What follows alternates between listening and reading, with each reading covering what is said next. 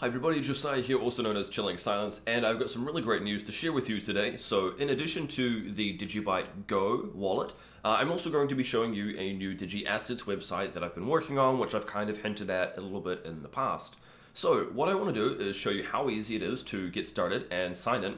So, what I'll do is I'll take my cell phone here, and I'm going to bring up the app, and I'm just going to scan the QR code, and it's going to prompt me to log in. Nice and easy. Cool. So what I need to do next is I need to deposit and uh, basically enable creation. So this is going to cost me 500 digibyte. This is a an amount that is, uh, in this particular website's instance, going uh, back to me to help pay for the server costs, uh, as well as the development of the website and, and similar sorts of things. Um, so anybody who's been following along uh, will remember that I've mentioned I've, I've taken out a small bank loan basically to get this off the ground, get it started. Now there are going to be additional features and things coming real soon, so that's totally cool. Um, what I'll do now is I'm going to scan this. And what I'll do is I'll pop in here, uh, 500, automatically populated at 500 digibyte, fantastic. Okay, fingerprint recognized. Confirmation sent. Brilliant. So what I'll do is I'll talk a little bit about this. Basically, there are going to be additional things, such as the ability to import a, a spreadsheet with a list of uh, digibyte addresses and a number of assets that you want to send through to each one. So say, for example, you were issuing shares in your company. What you could do is you could send uh, 50 to one person, uh, 20 to another, 10 to another, 10 to another, for example, and then keep some for yourself, obviously. And what you'll do is you'll just have a nice list of them in the website and it will automatically send those out for you. Um, so what I'll do now is it's taken uh, a couple of seconds. I'll click on refresh here just to make sure that it's received it. Looks like it's still going through. Let me copy this. Actually, I can even just open it up straight here.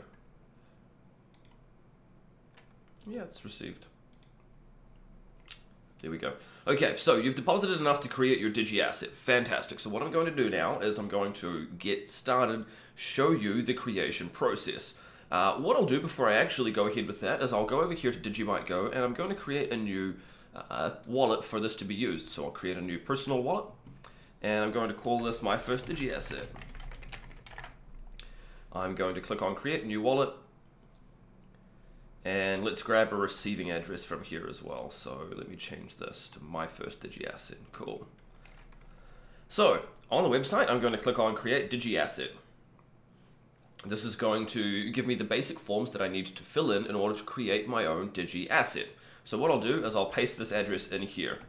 Now, the reason that I'm doing this is otherwise what will happen is it will issue it to the DigiAsset website that I've been working on. The idea being that you can send them out later on, you don't have to send them all through to your mobile. So what we need now is we need to uh, give it a name and we're going to, how about we call this,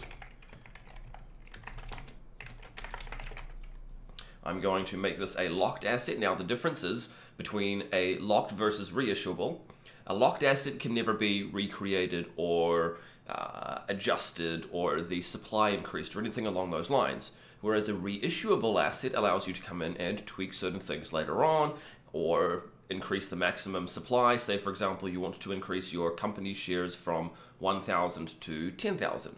You can do that if it is reissuable, not otherwise.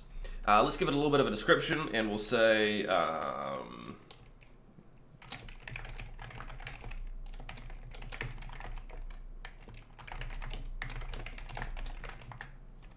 How many do we want to do? I'll do a hundred of these. Now what I'm going to need to do is go and I'll find an image. We'll call this, we'll go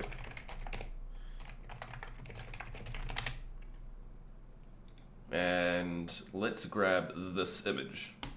So what I need to do here is I'm going to copy the image address, but what I'm going to do is I'm going to re-upload it somewhere else for now to Imgur. Now the reason that I'm doing this is because I want to have Imgur keep this picture for me. There we go. I want them to keep it for me. I want them to host it, and they'll do that basically for forever. Uh, if I grab any random uh, image off the internet, it might not be around forever, so it pays to have it somewhere like this, for example.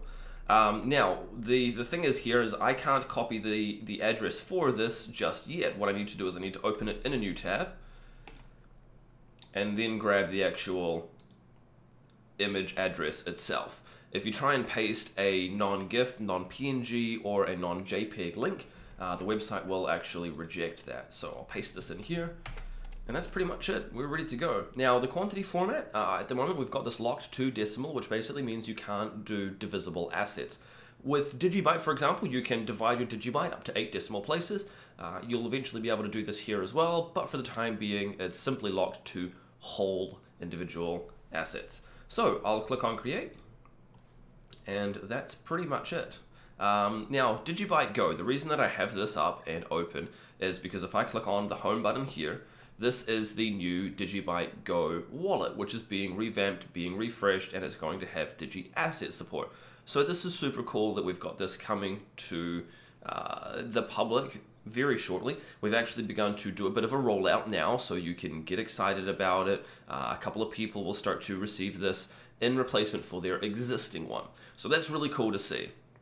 Again, as always, make sure that you have your recovery phrase backed up. Now, we can see here your asset has been successfully created with this address. Now, this is the unique identifier for your Digi asset. This is what separates it from all the other Digi assets. This is how you know that it can never be uh, cloned or anything or uh, with this particular one, because it starts with an L, that's how we know that it is a locked asset. So, uh, we can see here under my first Digi asset, we've already received 0.006 0.000006 of a digibyte. And if I click on view assets, it's going to show me it here as well. Now, for the time being, there is an issue with displaying this animated picture inside of the Digibyte Go wallet, something that the team are still looking at. But what we can do is if I go back here to Digi Explorer, what we should see is if I refresh this, the latest transaction should be an issuance up here. Cool.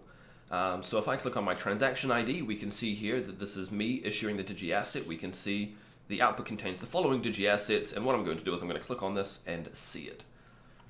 Now we can see up here it's animating correctly. Uh, we've got the name of it, we've got the description of it. Uh, we also have the unique identifier here, who issued it, how many there are, and all of the likes. So that's super cool. Super easy to get issuing Digi assets with this website, and so what I'll do is I will leave a link in the description below, and if you want to try it out, you can go and do that. Uh, as mentioned, this uh, currently costs 500 Digibyte for you to go ahead and actually do it. Uh, in the future, that may go up, may go down, depending on a bunch of things.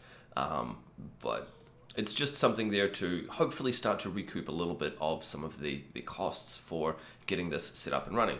Uh, now also for the Digibyte Go, you can see here we also have the ability to issue new assets. It's coming to the Digibyte Go wallet as well. So again, something for you to get excited about.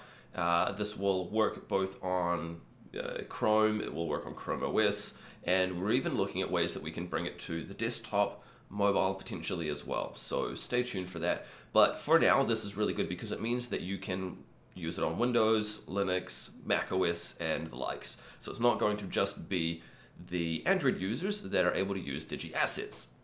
Anyway, what I'll do is I'll click back here. Again, you can see this is the received, and that is how much of a Digibyte is kept tied up with this particular Digi asset. So every time you send out Digi assets, if I were to send all of the 100 to 100 different people, each of those 100 people would need 0.000006 of a digibyte tied up at the time. Now the reason for this is this is how the UTXO uh, basically keeps the digi asset data and, and knows that it is associated with your wallet. Anyway, I hope you've enjoyed this. I hope you've learned a thing or two. I hope you're excited as I am about getting out and issuing some digi assets. Uh, I do apologize for my kind of croaky voice this morning. Coming down with a bit of a cold, I think, at the end of winter here, so wish me luck for tomorrow. Um, if, you have enjoyed this, please feel free to give this a like, give it a subscribe. Uh, if you do have any questions, you can sing out in the comment section below. You can tweet me. I'm at dgb underscore chilling, or otherwise, I'll talk to you in the next video. We'll see you tomorrow. Cheers.